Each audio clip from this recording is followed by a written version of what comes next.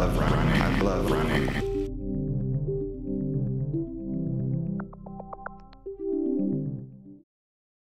Runner's knee is a very common thing that affects runners. In fact, when I first started running, it was my very first injury. Uh, the most important reason why I believe it happens is most footwear that's available for runners is not shaped like a human foot.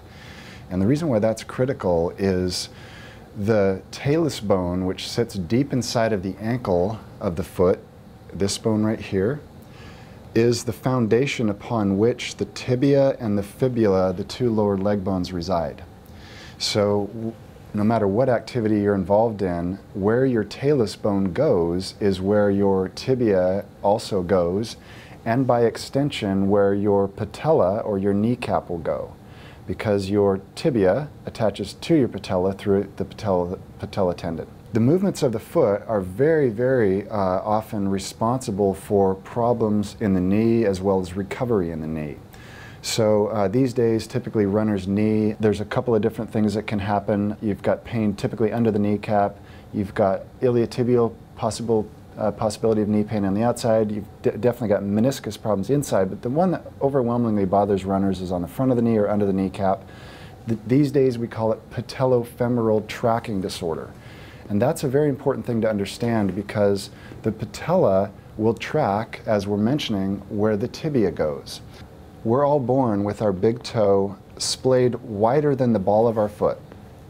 And when our big toe is in that configuration and when our fifth toe is spread wider than the uh, fifth metatarsal, that's a very stable foundation for us to leave the ground on. And when we run and walk and hike like that, if our foot stays like that, when we leave the ground, the tibia stays directly on top of the talus bone and that kneecap by extension is also going to stay in its groove where it belongs.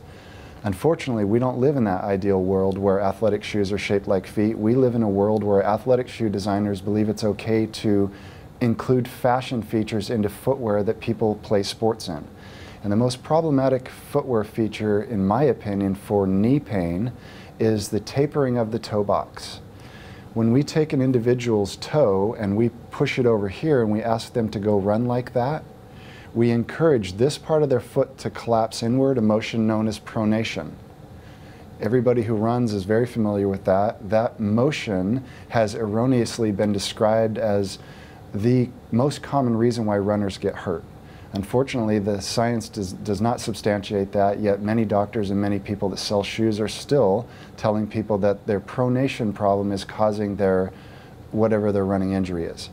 What's interesting about pronation is if we were concerned about that, it's curable not by putting something up under the arch, as is conventional therapy, it's curable by reapproximating the great toe. And the reason why this is important for knee pain is if that individual is going to go out and run and their toe is over here, tapered, and particularly if it's also toe sprung, 15, 20 degrees off the ground, that shoe forces that individual's foot to undergo more pronation than it's supposed to. And the true irony of this is when you get put on the treadmill at running shoe stores and they diagnose your pronation, they believe that they're going to sell you a shoe that's going to correct your pronation by limiting its motion here. Yet, ironically, that shoe is also going to create pronation because the ends of the toe box are not going to be wider than the ball of the foot. Consequently, that anti-pronation, that motion controlling shoe that will not cure you, is going to be crippling your foot in the direction of a bunion formation and encouraging this abnormal motion. When your talus gets encouraged to pronate more or go down towards the ground more because of the tapered toe box, guess what goes with it? Your tibia goes with it, and guess what else? Your kneecap gets drug out of its alignment there's a very important relationship between the foot and the arch and the kneecap. I'm going to put my foot into shoe position. My heel is going to be higher than the ball. My toes are going to be higher than the ball. And this is going to be the widest part. Nature did not design us to function that way. If, if I bear weight on that, my foot wants to pronate. And what I want you to notice is that as my foot wants to pronate, it's subtle, but my knee is going to start going out of alignment. It's going to start being pulled in this direction. So my foot's going to go off in that direction, my knee's going to go off in this direction, and that's going to start that tracking disorder that we're talking about. What's proper is for the heel to be completely level with the whole front of the foot spread wider than the ball. If I bear weight on that, that is what nature intended, and my knee is going to stay on top of my foot, as opposed to if I get into that pointed toe running shoe with my heel up, it's all going to start going out of alignment. So knee pain is oftentimes found to have its cause in a foot that is not positioned properly inside of the shoe. This is important because a lot of people will go to various medical providers and have a large workup done on their knee, imaging, maybe arthroscopy, only to find out that the source of the knee pain may not actually be in their knee, it actually may be at a distant site such as their foot. First thing I, encourage them to do is change their footwear. Um, I encourage them to understand how if you have an elevated heel on your running shoe, the outer calf muscle, the gastrocnemius muscle, is going to get shorter.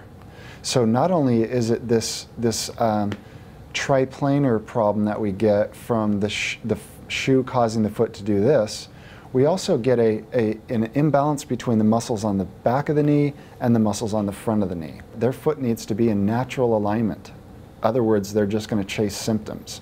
So I get them in natural alignment. I encourage them to heat their knee before activity with some sort of a heat source like a deep heat cream. And I am a person who favors ice application afterwards. But honestly, I, I encourage people to focus more on their foot as their first line of defense when their knee is bothering them. I love running. I love running. I love running. I love running.